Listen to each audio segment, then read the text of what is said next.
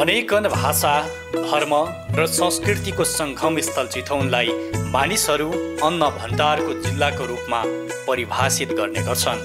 कृषि कर्मका लागि उपयुक्त हावापानी रहेको चितवनमा प्रधानमन्त्री कृषि आधुनिकीकरण परियोजना मार्फत विभिन्न कार्यक्रम सञ्चालित छन्। चितवनलाई केरा र धानमा आत्मनिर्भर बनाउने गरी सुरु गरिएको व्यावसायिक कृषि उत्पादन तथा प्रशोधन केन्द्र जुन विकास कार्यक्रम निकै प्रभावकारी भएको देखिन्छ।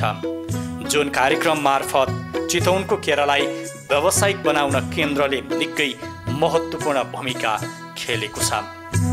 दुई चार पाँच सात बिघाबाट अठार बिस वर्ष अगाडि सुरु भएको केरा खेती आज हजारौँ बिघा दुई हजार हेक्टरभन्दा बढीमा केरा खेती भइरहेको छ र यसमा काम गर्ने प्रत्यक्ष परिवार सात सय किसान चाहिने जोडिएका छन्। सात पन्ची पैँतिस पैँतिस सय चार हजारजना प्रत्यक्ष त्यहाँ संलग्न छन्। यसबाट बाहिर काम गर्ने मानिसहरूसम्म र व्यवसाय गरेर लाभ लिने स्तरसम्म पुग्दा यो एउटा राम्रै व्यावसायिक वस्तुको रूपमा अगाडि बढिरहेको कुरा सर्वविदितै छ। यहाँको किसानको आयस्तर वृद्धि गर्ने क्रममा एउटा ठुलो चाहिने भूमिका छ। तिन हजार बिघा क्षेत्रफलमा केरा खेती भइकन गत वर्ष वार्षिक यहाँका किसानहरूले डेढ अर्बभन्दा बढ्ता लगभग लगभग चाहिँ आम्दानी लिन सफल भएका छन्। प्रधानमन्त्री कृषि आधुनिकीकरण परियोजनाको कार्यक्रम र त्यसलाई सफल बनाउन चितवनका किसानले निकै महत्त्वपूर्ण भूमिका निर्वाह गरेका छन्। त्यसैको उपज पछिल्लो समय चितवन नेपालको केरा उत्पादनको हब बन्दै गएको छ। स्थानीय तहदेखि केन्द्र सरकारसम्मको प्राथमिकतामा परेको कृषि क्षेत्रलाई थप प्रभावकारी बनाउन सरकारले अवलम्बन गरेको आधुनिकीकरण परियोजना मार्फत किसानलाई सरकारी परियोजनामा प्रत्यक्ष जोड्ने अभ्यास भइरहेको छ। प्रधानमन्त्री कृषि आधुनिकरण परियोजनाका चारवटा सम्भागहरूलाई विश्लेषण गरेर हेर्ने हो भने पकेट कार्यक्रम विकास कार्यक्रम ब्लक विकास कार्यक्रम प्रदेश मातहत कृषि ज्ञान केन्द्रबाट कार्यान्वयन गरिनु गरिरहेको अवस्था छ।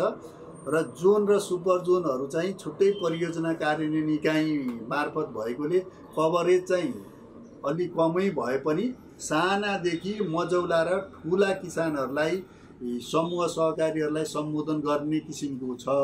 र यसलाई हेर्दाखेरि के छ भने धेरै किसानको अपेक्षा चाहिँ बजारसँग जोडिएन कि भन्ने छ। यो परियोजनाको मुख्य मर्म भनेको प्रशोधन उद्योग र बजार थियो।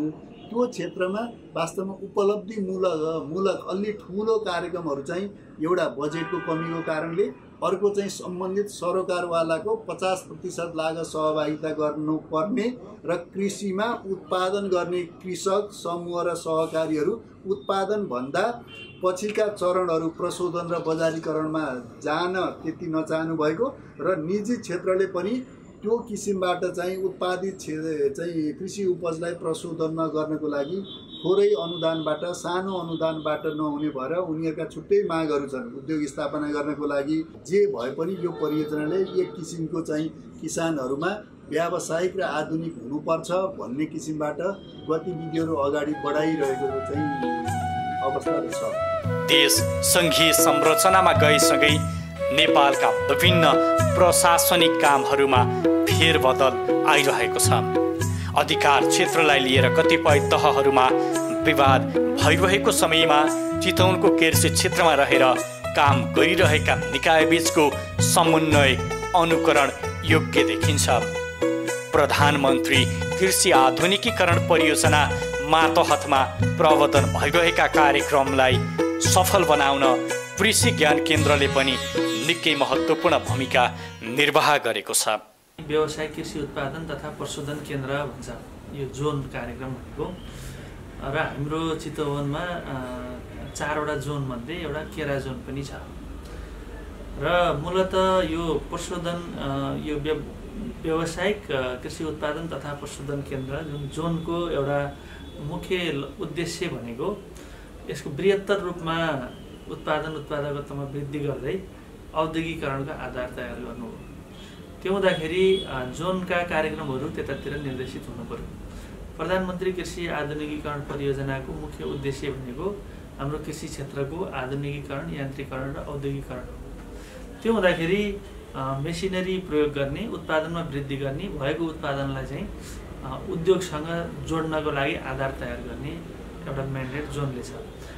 कृषि क्षेत्रलाई नेतृत्व गर्ने साना साना उत्पादनहरूका क्षेत्रहरूलाई नेतृत्व गर्ने क्षेत्र हो। यस हिसाबमा म हाम्रो अन्तर्सम्बन्धलाई जोड्न चाहन्छु। परियोजनाको पकेट र ब्लक कम्पोनेन्ट अन्तर्गतका कार्यक्रमहरू हामी कृषि ज्ञान केन्द्रले सञ्चालन गर्छौँ। त्यस्तै हाम्रो ब्लक तथा पकेटहरू छन्। यिनीहरूका सञ्चालक समितिहरू र त्योसँग आबद्ध भएका किसानहरूसँग सहकार्यमा हामी उत्पादन प्रवर्धनका कार्यक्रमहरू गर्छौँ भने र यसमा प्रधानमन्त्री कृषि आधुनिकीकरण परियोजना जुन जोन विकासका कार्यक्रमहरूमा हाम्रो जोन क्षेत्र छनौटमा नै कृषि ज्ञान केन्द्रको भूमिका रहन्छ। हामीले नै त्यसको प्रस्ताव गर्छौँ भने र यो चाहिँ कार्यक्रम कार्यान्वयनका सन्दर्भमा चाहिँ एक अर्काको कार्यक्रमहरूमा बिसौँ वर्षदेखि चितवनमा रहेर केरा खेती गर्दै आएका किसान अनि चितवनको केरा खेती प्रबन्धन गर्न मातहतका निकायले देखाएको सक्रियताले चितवनलाई नेपालको केरा उत्पादन हब क्षेत्रको रूपमा अझै सशक्त बनाउने कुरामा दुईमत देखिएन। चितवनमा उत्पादित केराले नेपाललाई पूर्ण रूपमा आत्मनिर्भर बनाउनका लागि पनि परियोजनाले विभिन्न योजना तर्जुमा गरेको छ। चितवनमा केराको व्यवसायीकरण गर्ने र प्रशोधनसहितको एउटा प्रशोधनसहितको सेन्टर बनाई।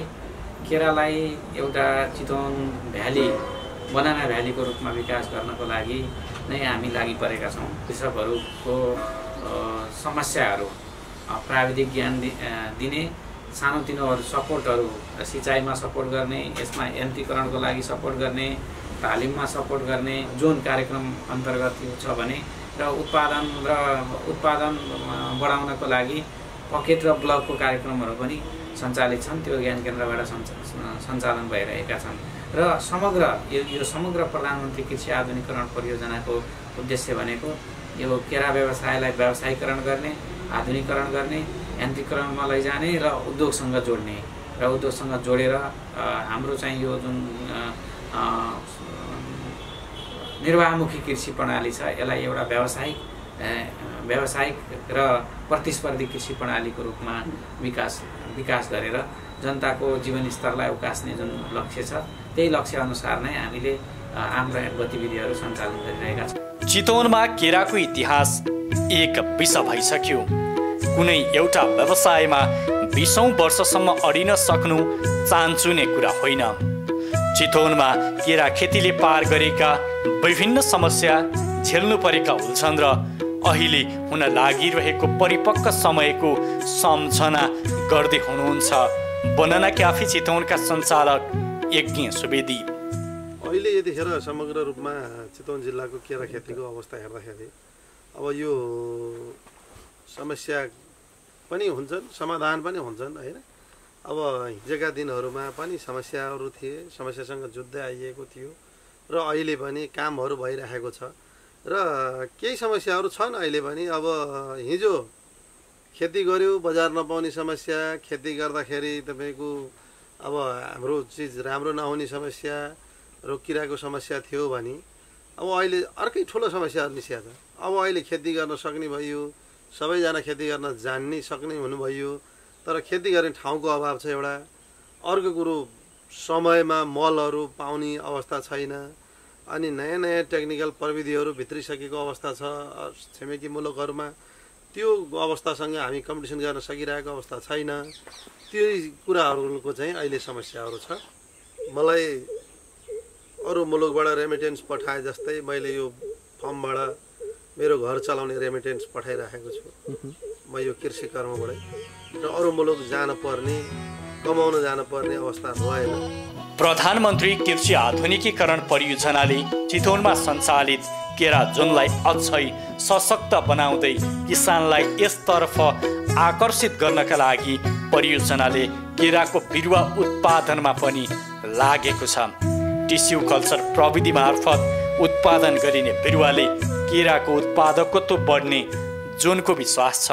यो जिनाइन जातको विशेष विशेषता भनेको यसमा चाहिँ यो टिस्यु कल्चर प्रविधिबाट उत्पादन गरेको हुन्छ र यसबाट ल्याबबाट परीक्षण गरेर रोगमुक्त भएको हुनाले फिल्डमा लगाउँदाखेरि पनि यसमा रोग नआएको नआएको हुनाले रोग चाहिँ सम्भावना कम भएको हुन्छ र उत्पादन पनि बढिदिने र यसको लागत कम उत्पादन बढिदिने हुनाले अहिलेको परिवेशमा चाहिँ यो जिनाइन जातको र विलियम हाइब्रिड जातका बिरुवाहरू चाहिँ चितवनको परिवेशमा चाहिँ उत्तम मानिएको थियो अहिले चाहिँ यो सुरुवातको फेसको अवस्था भएको हुनाले पचास साठी हजार बिरुवा यो वर्ष चाहिँ उत्पादन गर्ने लक्ष्य रहेको छ भने तपाईँको पछिल्लो वर्षमा जस्तो प्रधानमन्त्री कृषि आधुनिक केन्द्रको सहयोग र विभिन्न तालिमहरूले भर्खर हुँदै गर्दाखेरि योभन्दा बढी बिरुवाहरू उत्पादन गर्न सकिनेछ प्रधानमन्त्री कृषि आधुनिकीकरण परियोजनाले सञ्चालन गरेको केरा जोन जसरी सफल भइरहेको छ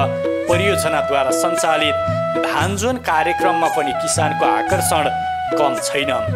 उर्वर भूमि शिक्षित समाज हरेक कामको नेतृत्वदायी भूमिका लिन तयार चितवनले कृषिमा यान्त्रिकरणका लागि पछिल्लो समय कामहरू गरिरहेको छ सरकार कृषिबाट समृद्धिको कुरा गरिरहँदा चितवनका सरकारी निकाय यो कार्यलाई सार्थकता दिने अभियानमा जुटेका छन्। प्रधानमन्त्री कृषि आधुनिकीकरण परियोजनाको धानजोन मार्फत वैज्ञानिक र आधुनिक तवरले धान खेतीमा लागेको चितवनले यान्त्रिकरणमा आफ्ना पाइला अगाडि बढाएको छ। उत्पादनभन्दा श्रमको मूल्य चर्को बेहोर्नु परेको परिस्थितिमा नेपालको खेती प्रणालीलाई यान्त्रिकरण मार्फत लागत न्यूनीकरण र उत्पादन बढाउने योजनाका साथ परियोजनाले काम गरिरहेको छ। असल कृषि अभ्यास र आधुनिक प्रविधि मार्फत उत्पादन बढाउन र बजारीकरणसँग जोड्न प्रोत्साहन प्रदान गर्दै कृषिलाई व्यावसायिक र मर्यादित पेसा बनाउने अभियानमा तत्पर छ परियोजना। किसान पनि सक्रियताका साथ लागि परेका छन्। त्यसैको फलस्वरूप कुल गृहस्थ उत्पादनमा चितवनको धानले दिने योगदान बढ्दो क्रममा छ। कृषि क्षेत्रमा रोजगारीको अवसर सिर्जना पनि बढिरहेको छ। उत्पादन गरिदिएकोले हामीले दैनिक रूपमा उपभोग गर्ने सबै चिजहरू किसानको बडो परिश्रम मिहिनेतले चाहिँ उत्पादन भइरहेको अवस्था छ। उहाँहरूलाई अझ सेवा सुविधा दिएर प्रेरित गरेर हामी प्राङ्गारिक उन्मुख कसरी बनाउन सकिन्छ? प्राङ्गारिक सबै क्षेत्रमा उत्पादन गर्न सकिएन भने पनि रासायनिक मल र रासायनिक विषादीको सुरक्षित प्रयोग गरेर माटोको अवस्था नबिगारिकन हाम्रो भावी पुस्ताले पनि खेती गरेर खान सक्ने अवस्थामा माटो राखेर चाहिएको जति उत्पादन जुन जुन बाली वस्तुमा हामीले आत्मनिर्भर हुन सकिन्छ त्यसको उत्पादन गरिदिने भनेको त किसानै हुन्। त्यो भएर किसानलाई त्यो किसिमबाट चाहिँ हौसला प्रोत्साहन मिल्ने किसिमबाट चाहिँ अगाडि बढ्दाखेरि किसानको त्यो चाहिँ अनुहारमा मुस्कान ल्याउनको लागि कर्मचारीहरू पक्कै पनि एकदम चाहिँ सेवा दिनको लागि त्यति बढी चाहिँ अप्ठ्यारो मान्नुभएको केही चाहिँ अब नि कर्मचारी कमी भएर कर्मचारीमा दक्षता कमी भएर अलिक भने जस्तो गुणस्तरीय सेवा छैन भने त्यसलाई पनि प्रभावकारी बनाउन सकिन्छ सबलीकरण गर्नुपर्ने हुन्छ क्षमता वृद्धि गर्नुपर्ने हुन्छ। किसानलाई मुख्य रूपमा बिउ बिजन र बिरुवाको स्रोतको ग्यारेन्टी र त्यसपछि सिँचाइको सुविधा विस्तार र सिँचाइ यदि हामीले भूमिगत सिँचाइ प्रयोग गर्ने भने विद्युतमा चाहिँ पर्याप्त अथवा अलि बढी छुट दिन सक्ने र उत्पादित अनाजको जुन कृषि उपजहरू सजिलैसँग बिग्रिँदैनन् जस्तै धान गहुँ मकै तोरी मुसुरो फापर यी बालीहरूको चाहिँ न्यूनतम मूल्य लागतको आधारमा न्यूनतम मूल्य किसानले यति पाउनुहुन्छ भनेर सिजनभन्दा अगाडि यदि चाहिँ सरकारी स्तरबाट तोक्ने र खरिदको ग्यारेन्टी अथवा व्यवस्था गर्न सकियो भने यसलाई अझ बढी रूपमा राम्रोसँग लिएर जान सकिन्छ। धान जोनको कार्यक्रम मार्फत किसानलाई आधुनिक खेती प्रणालीमा लाग्न प्रेरित गरेको परियोजनाप्रति किसानहरू सन्तुष्ट छन् जसले उनीहरूलाई काम गर्ने हौसला मात्र होइन कृषिलाई व्यावसायिक बनाउने प्रेरणा र दिगो रूपमा जीवनस्तर उकास्न आधारित स्तम्भ तयारमा टेवा पुग्ने देखिन्छ। करिब चाहिँ पैँतिस प्रतिशत स्थानीयबाट हालिदिने र हजुरहरूले पन्ध्र प्रतिशत हालिसकेपछि हामी एकदम सहज रूपमा हजुरहरूलाई मनपर्ने किसिमले अगाडि बढाउँछौँ। प्रविधि सबैलाई एकैचोटि मन पर्दैन। देखेको कुराको राम्रो पक्ष र नराम्रो पक्ष चाहिँ हजुरहरूले टिका टिप्पणी गरिदिनु। चिया पसलमा गएर फलानले अनुदान मात्रै ल्याएर खायो भन्ने कुरा चाहिँ अब यो कुनै पनि तहको सरकारको कुनै पनि कार्यक्रममा हुन्न। त्यस्ता चाहिँ नकारात्मक कुरालाई चाहिँ हामीले कमी गऱ्यौँ भने आज हामी दुई किसिमबाट एउटा बेर्ना तयार गरिसकेपछि मेसिनले रोप्ने हजुरहरूलाई चित्त बुझ्दो किसिमले रोपाएर देखाउँछौँ। चित्त बुझ्यो भने ग्रहण गर्नु चित्त बुझेन भने ग्रहण नगर्नु तर यसलाई निरन्तर गरा गराइयो भने चार वर्षपछि पूर्व चिताउनको तिस प्रतिशत जमिनमा हामी मेसिनमय बनाउँछौँ। त्यसमा हजुरहरू ढुक्क रहनुहोस्। धान जोनको कार्यक्रम मार्फत किसानलाई आधुनिक खेती प्रणालीमा लाग्न प्रेरित गरेको परियोजनाप्रति किसानहरू सन्तुष्ट देखिन्छन्। जसले उनीहरूलाई काम गर्ने हौसला मात्र होइन कृषिलाई व्यावसायिक बनाउने प्रेरणा र दिगो रूपमा जीवनस्तर उकास्न आधार स्तम्भ तयारमा टेवा पुग्ने देखिन्छ परियोजनाले धानको उत्पादकत्व बढाउन उन्नत बिउ बिजनमा अनुदान सहजीकरण मात्र होइन थोरै लागतमा धेरै उत्पादन लिन सक्ने गरी सहुलियतमा उपलब्ध गराएका यान्त्रिक उपकरणले पनि किसान कृषि कर्ममा लाग्न प्रेरित भएका छन्। यो हामीले चैते बालीमा साना किसान कृषि सहकारी संस्थाको हामीले एक बिघा जग्गामा यो मेसिनबाट धान रोपेर धेरै कुराहरू गोडमेल गर्ने कुराहरूदेखि लिएर उत्पादनको हिसाबले सबै राम्रो भएर आएको थियो।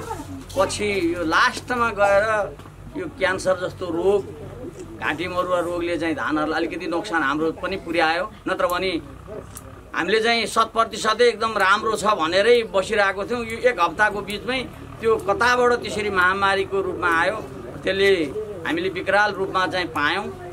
यो ड्रम सिडरबाट जुन रोप्ने कुराहरू हाम्रो बैरियामा हाम्रो अघि नै एकजना दाजुको खेतमा पनि हामीले चैते बालीमा पनि रोपेर हेऱ्यौँ। र हामीले केन्द्रीय सङ्घको जग्गामा पनि रोपेर हेरौँ। त्यो चाहिँ अलिकति उहाँहरूको भन्दा पनि हाम्रो पनि कमजोरी छ।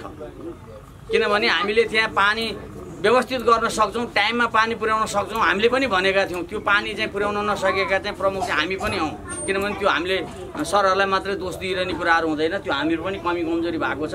अलि हामीले पछाडि त्यो बोरिङ गर्ने कुराहरू चाहिँ अलि धेरै पछाडि चाहिँ त्यहाँ भयो र त्यसले गर्दा त्यहाँ त्यति उत्पादनमा कमी मात्रै हो। नत्र भने धान चाहिँ त्यहाँ पनि नफलेको होइन फलेको थियो राम्रै पनि देखिएको पनि छ।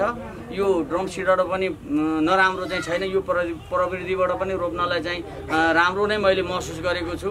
र जुन यो यो त हामीले स्थानीय तहको आज यहाँ मेयर साहबहरू हुनुहुन्न। स्थानीय तहकोबाट पनि यो किसानलेमा चाहिँ पचास पर्सेन्ट हालेर चाहिँ खेती गर्न सक्दैन।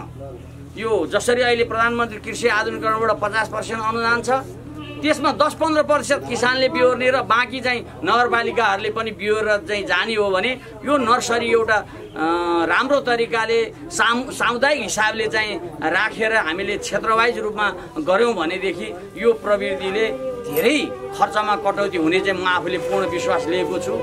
कृषिलाई नाफामूलक व्यवसायका रूपमा स्थापित गर्न नसक्दा यस क्षेत्रमा लगानीका लागि निजी क्षेत्र र रोजगारीका लागि युवा उद्यमीहरू आकर्षित हुन सकेका छैनन्।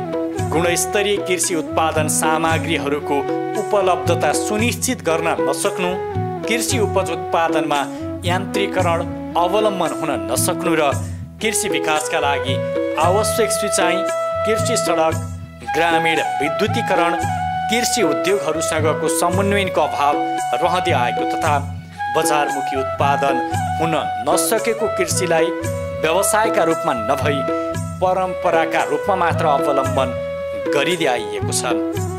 यिनै पृष्ठभूमिलाई मध्यनजर गर्दै कृषि क्षेत्रको उत्पादन र उत्पादकत्व वृद्धि गर्ने स्पष्ट मार्गचित्रका साथ कृषि उपजको उत्पादनका लागि आवश्यक प्रविधि तथा उत्पादन सामग्रीको व्यवस्था बाली र वस्तु उत्पादनमा यान्त्रिकरण प्रशोधन तथा बजारीकरणका लागि आवश्यक पूर्वाधारको व्यवस्था जस्ता प्रधानमन्त्री कृषि आधुनिकीकरण परियोजनाका क्रियाकलाप मार्फत कृषि क्षेत्रको आधुनिकीकरणको परिकल्पना गरिएको छ। यिनै परिकल्पना साकार पार्नका लागि परियोजनाले नेपालभर सोह्रवटा सुपर जोन एक सय छवटा जोन तिन सय छत्तिसवटा ब्लक र दुई हजार सात सय छयत्तर पकेट मार्फत किसानसँग प्रत्यक्ष जोडिएर नेपालको कृषि प्रबन्धनमा लागि परेको छ। परियोजनाको कार्यक्रम चितवन जिल्लामा एउटा मोडेलको रूपमा अग्रणी रूपमै अगाडि आइरहेको हामीलाई विदिँदै छ र यहाँ चाहिँ चारवटा जोनहरू केराको तरकारी धान र मौरीको चाहिँ कार्यक्रमहरू अहिले सञ्चालित छन् जोनका कार्यक्रम। र यिनीहरू अहिले कुनै पहिलो वर्ष कुनै दोस्रो वर्ष कुनै तेस्रो र चौथो वर्ष पनि सञ्चालित छन्। त्यो आधारमा हेर्दाखेरि हामीले यो परियोजनाका कार्यक्रमहरू सन्तोषजनक रूपमै अगाडि बढिरहेको हाम्रो अनुगमन र यो मूल्याङ्कनबाट हामीले देखिएको छ। प्रधानमन्त्री कृषि आधुनिकरण परियोजनाका चारवटा सम्भागहरू छन् तपाईँलाई थाहा छँदैछ। Pocket block zone super zone र यो सतहत्तरवटै जिल्लामा सञ्चालित छ। त्यसकारण अब हामीले यो अठारवटा मूल्य बाली वस्तुका श्रृङ्खलामा हामीले काम गर्ने भनेर सुरुमा डकुमेन्टमा हामीले चाहिँ यसलाई तयार गऱ्यौँ र पछि थपिँदै गएर छब्बिसवटा बाली वस्तुहरूमा हामीले काम गरिरहेका छौँ। पशु पन्छी माछा फलफुल तरकारी अन्न बाली दलहन तेलहन र मसला बालीका चाहिँ बालीहरू चाहिँ हामीले सञ्चालन गरिरहेका छौँ। त्यसकारण अब अहिले एक दुई वर्ष विगतमा अलिकति अन्यल रहे पनि अब हामी स्पष्ट रूपमा यसलाई चाहिँ अगाडि बढिरहेको अवस्था छ। आगामी दिनहरूमा अब हामीले चाहिँ के गर्दैछौँ भने यो परियोजनाको अपनत्व चाहिँ तिनवटै सरकारले लिनुपर्छ भनेर प्रदेश स्थानीय तह र सङ्घ तिनवटै तहमा चाहिँ हामीले पकेट ब्लक जोन र सुपर जोनका जोनलाई विभाजन गरेर पकेट चाहिँ स्थानीय तहबाट अनि ब्लक चाहिँ प्रदेश सरकारबाट र जोन र सुपर जोन चाहिँ सङ्घीय सरकारबाट चाहिँ हामीले सञ्चालन गरिरहेको अवस्था छ। र यो तिनै तहबाट चाहिँ यो यो परियोजनालाई चाहिँ अगाडि बढाउँदै गर्दा आगामी दिनहरूमा अब हामीले पक्कै पनि हिजोका दिनमा एक दुईवटा केही कार्यक्रमहरूमा अलिकति केही कमी कमजोरी हामीले हिजो हामीले जानेर नजानेर गरेको भए पनि अब हामीले चाहिँ एकदमै आउटपुट निकाल्ने चरणमा र कतिपय बालीहरूको प्रतिफल पनि प्राप्त भइरहेको अवस्था छ अहिले। जस्तै उदाहरणको लागि हामी तरकारीहरूमा हामी करिब करिब आत्मनिर्भरतर्फ हुनु पुगिसक्यौँ फलफुलमा त्यसरी नै अगाडि बढिरहेको अवस्था छ। माछा र दुधहरूमा चाहिँ हामी आत्मनिर्भरको एकदमै नजिकमा पुगिसकेका छौँ भने यो अवस्थामा हामीले आउटपुटहरू निकालेर प्रतिफल निकालेर हामी अगाडि बढिरहेको अवस्था छ।